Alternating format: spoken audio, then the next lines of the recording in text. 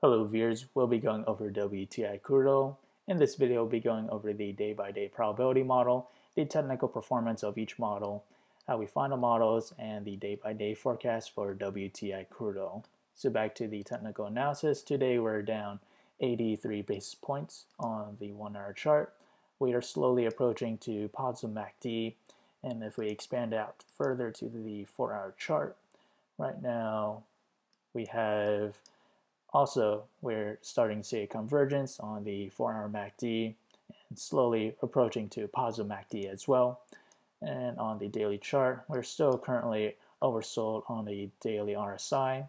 We did make a convergence on the daily MACD, and if we do manage to climb higher, the next resistance that I see is the 9-day moving average, this blue line. Reason why? That coincides with price levels that indicated as our previous support around a price of $22.80. That is our first immediate resistance if we do manage to head higher.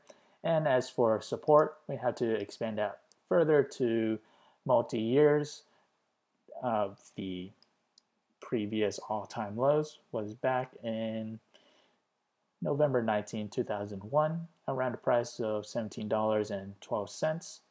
And if we make that as our support level. If we were to move down lower, that price movement is roughly around, it is around, I would say 17 or 16.8% to the downside. And if we do manage to climb higher, that price movement is roughly around 11.6% to the upside to hit back where support was previously made. So back to the day-by-day probability model. Again, this model is now available in the link below, so do check it out. As the days progress to the 7th day, we have a 20% chance for WTI crude oil to fall between 0 and negative 8%.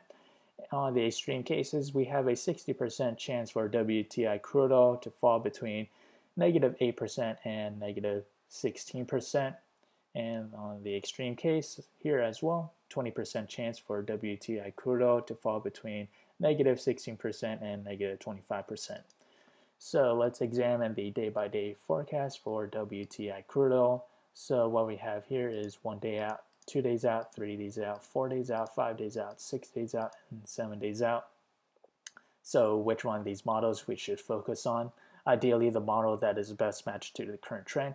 Right here we have the current trend, and below is a trend that I believe is the best match. This trend dates back to August 19, 2008 to November 12, 2008. So let me point out why these two charts are similar. So what we have here on the current trend, we start off at the upper Bollinger Band. And after touching the upper Bollinger Band, we proceeded to dip lower, touch the bottom Bollinger Band. Let's just mark all the instances where we touch the bottom Bollinger Band. So we have our first one there and our last one towards the very end. And in between those two bottom Bollinger Bands, we did revert back to the mean to the middle Bollinger Band and we have that point there. And in the trend in question, we do manage to start off at the upper Bollinger Band here as well. And after that, we touch the bottom Bollinger Bands.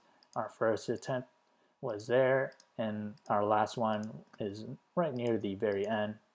And then the trend in between the two bottom Bollinger Bands, we revert back to the mean to the middle Bollinger Band. So we have about one, two, three, four points.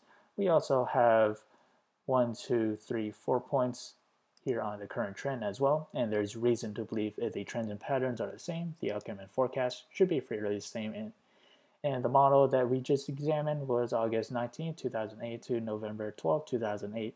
Back then, WTI crude oil fell around 12%. And if we look back at the day-by-day -day probability model, it coincides with the standard deviation of 60% chance for WTI crude oil to fall between negative 8% and negative 16%. That's where WTI crude oil back in 2008 fell to. And if we examine closer to the technical performance of each model, right now we have the model, our current model, we are down 172% from monthly high, up 2.5% from monthly low, down 10% from 10 simple moving average, down 30% from 20 simple moving average, down 48 or 49% from 50 simple moving average. And if we examine the trend that we just examined, which was August 19, 2008 to November 12, 2008, back then WTI crude oil was down 114% from monthly high, up 0% from monthly low, down 12% from 10 simple moving average, down 15% from 20 simple moving average, and down 33% from 50 simple moving average. As you can see, the trend in question, or our current trend, is much further down than where we were on the simple moving average between 20 and 50 percent 50 so do take that consideration and if you enjoy this content feel free to like comment subscribe and thank you for watching